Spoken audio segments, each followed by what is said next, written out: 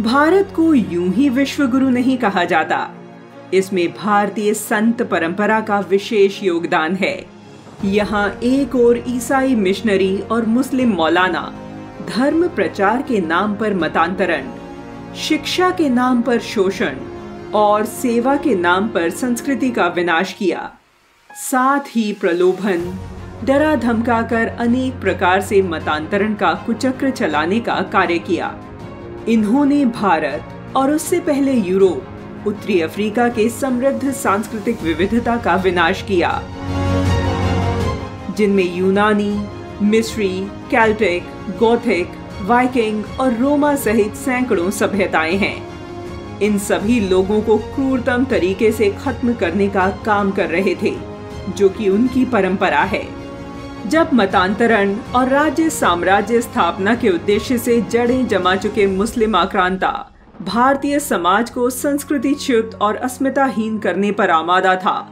तब जहाँ एक और भारतीय वीर माँ भारती के लिए लड़ रहे थे तो दूसरी ओर संत कवियों ने भी पूरी शक्ति से इस आंधी का सामना किया, तथा भारतीय आस्था को डिगने नहीं दिया, और भारतीय संत जनमानस को उसकी मूल धार्मिकता आध्यात्मिकता एवं सांस्कृतिकता से जोड़ने के साथ ही आडंबरों, असामाजिक उच्च श्रृंखलताओं छुआछूत, अंधविश्वास, मतांतरण के खिलाफ भी लोगों को जागरूक करने का भी प्रमुख कार्य किया।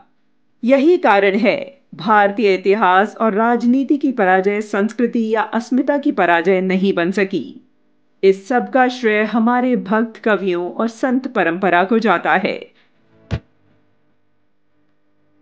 इसी परंपरा के वाहक थे संत नारायण गुरु, जिन्होंने भारत में सामाजिक पुनर्जागरण के साथ साथ केरल में सामाजिक सुधार के लिए आध्यात्मिक नींव स्थापित करने में महत्वपूर्ण भूमिका निभाई। साथ ही समाज में जातिगत भेदभाव को दूर करने तथा आपसी संघर्ष के बिना सामाजिक मुक्ति का मार्ग प्रशस्त करने में अहम भूमिका निभाई। नारायण गुरु ने अपना सारा जीवन विचरण करते हुए एक सन्यासी के रूप में निर्वाह किया। अपनी यात्रा के दौरान नारायण गुरु दो गुरुओं चेटम्बी स्वामी और थिक्कड़ अयावू के संपर्क में आए, जिन्होंने उन पर गहरी छाप छोड़ी। अपने गुरु से प्रेरित होकर नव मंजरी, नौ छंदों की एक श्रृंखला लिखी।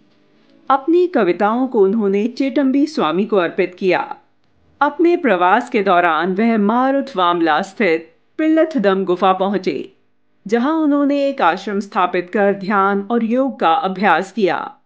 नारायण गुरु ने अपने उपदेशों के माध्यम से समाज को समानता का पाठ पढ़ाया, किंतु साथ ही साथ उन्होंने यह भी अनुभव किया कि धर्मांतरण करने के लिए असमानताओं का अनुचित लाभ नहीं उठाया जाना चाहिए। और इसलिए समाज में संघर्ष नहीं पैदा करना चाहिए। इसके लिए उन्होंने वर्ष 1923 में बहस करने और जीतने के लिए नहीं, बल्कि जानने के लिए और ज्ञात करने के लिए केदारे के साथ एक अखिल क्षेत्र सम्मेलन का आयोजन किया, जो भारत में इस तरह का पहला आयोजन था, जो कि यह मतांतरण का मुकाबला करने का प्रयास था। इसके साथ ही श्री नारायण गुरु ने अपने जीवन काल में कई सामाजिक कार्य किए, जिसमें जातिगत भेदभाव का विरोध, शराबबंदी, पशु बलि बंदी है। इसके साथ ही उन्होंने त्रिशूर, कन्नूर अंचू थेंगू थाला सेरी कोझिकोड और मैंगलोर जैसे अन्य स्थानों में कई मंदिरों का निर्माण करवाया।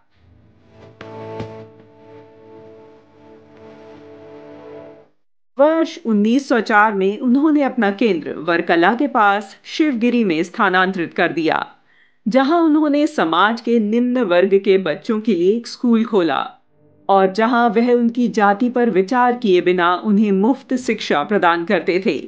वर्ष 1922 में नोबेल पुरस्कार विजेता रविंद्रनाथ टैगोर ने नारायण गुरुजी से मुलाकात करने के बाद कहा था कि मैंने विश्व के विभिन्न हिस्सों का दौरा किया है। किंतु मैं कभी भी ऐसे व्यक्ति से नहीं मिला हूँ, जो आध्यात्मिक रूप से श्री नारायण गुरु के कद से बड़ा हो। अंतिम समय में प्रेम और मानवता के प्रसार की लंबी यात्रा के बाद, वह शारदा मठ लौट गए और यहीं पर उन्होंने तिहत्तर साल की उम्र में 20 सितंबर वर्ष 1928 को अपना नश्वर शरीर छोड़ दिया।